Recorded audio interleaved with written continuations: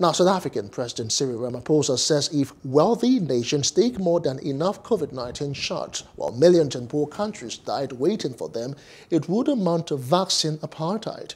South Africa and India have been pushing for a waiver on some intellectual property rights for vaccines and medicines at the World Trade Organization. South Africa's president has warned against wealthy nations hogging COVID 19 shots while millions in poor countries die in the queue waiting for them. That, Cyril Ramaphosa said, would be tantamount to, quote, vaccine apartheid. Sub Saharan Africa has administered the fewest vaccines relative to its population than any other region. Eight doses per 1,000 people compared to 150 per thousand globally, according to the World Health Organization.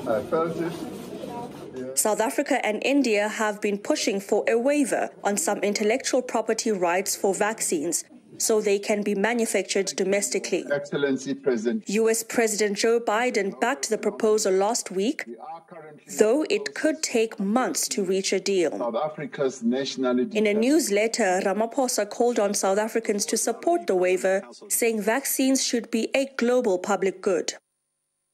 It is about affirming our commitment to the advancement of equality and human rights, not just in our own country, but around the world, he wrote.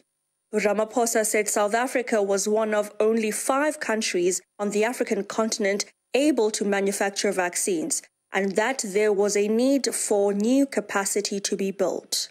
Hello, hope you enjoyed the news. Please do subscribe to our YouTube channel and don't forget to hit the notification button so you get notified about fresh news updates.